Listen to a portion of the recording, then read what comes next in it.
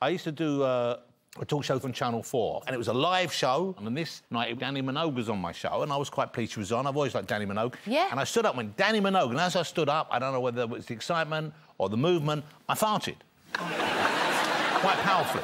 not, not noisily, but, you know, a powerful, with a full bass note. If it was a perfume, you'd say it's a very heavy, musky bass Cedarwood. which stays and then develops and develops further into perhaps a oh. sulphurous tone. But I stood up, poof, out it came, I'm standing there, and then she's walking towards me, and then the smell is working. Oh, this is not good. Oh. But then I realised, normally, in social success, you can walk away.